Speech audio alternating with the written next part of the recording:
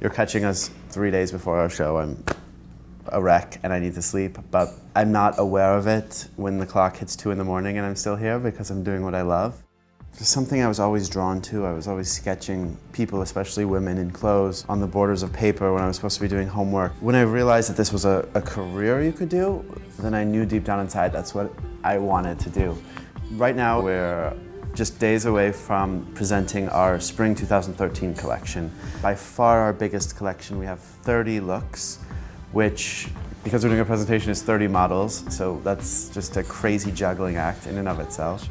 I grew up in Atlanta, Georgia in a very conservative traditional school where that is definitely not a typical career path for a boy in Atlanta. I started obsessively reading every biography I could find about designers, Galliano, McQueen. I kept coming across Central St. Martin's, Central St. Martin's, Central St. Martin's. So being in Atlanta with no idea of what Central St. Martin's was, I just knew I want to be a fashion designer and I have to go to Central St. Martin's if I'm going to do that.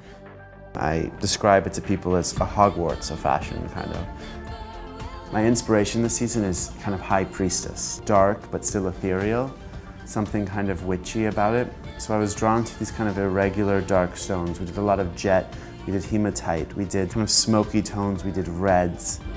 This season this is my first time working with Swarovski. You know, with Swarovski elements and our embroiderers, we've come up with incredible textures and effects to add to these garments that really give them a richness that you don't often find in spring. Unlike a painting on a wall or, or a sculpture, a garment is just fabric when it's on a hanger. You know, it needs to be on a body walking down the street before it's finished. So I really try to keep in mind that someone has to put this on and fall in love with it.